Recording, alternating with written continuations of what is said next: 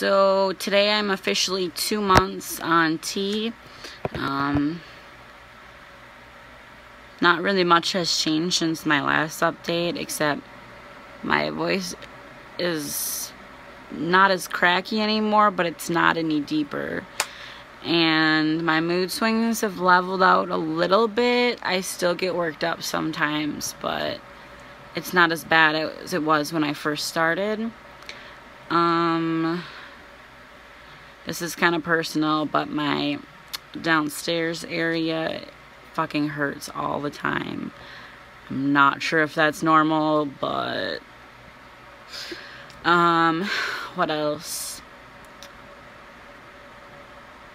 I have like this really blonde creeper mustache that's coming in, which I didn't have previously. I've had hair on my face like in other places, but I've never had anything in this whole vicinity right here. And I don't know if you can see it, but it's just super light. Um, and that's pretty much all that's changed.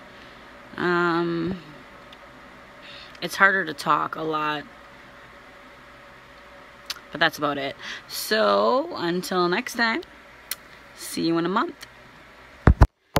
Uh, so I guess this is my voice one week on T. So this is my voice one month on T.